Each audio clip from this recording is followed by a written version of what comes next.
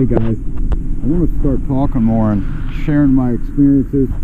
Um, I ordered this little antenna by mistake. I thought it was a Axie.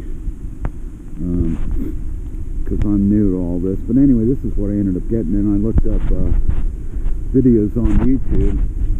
And uh, first ones that come up are just bashing it. But to tell you the truth, this thing worked out really good. Good video. Got down way past those trees. Um, not even any breakup. Anyway, we're out.